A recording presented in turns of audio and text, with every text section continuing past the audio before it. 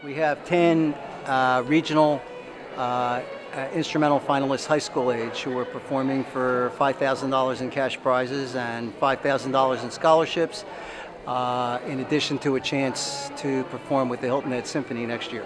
And where are these uh, contestants from? Uh, Virginia, North Carolina, South Carolina, Georgia, and Tennessee.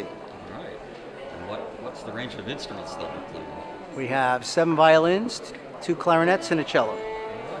And they're just fantastic instrumentalists. Every one of them has performed solo with a regional orchestra of some sort or another before. They've all won others, other competitions, and we are one of the largest competitions of the type in the Southeast.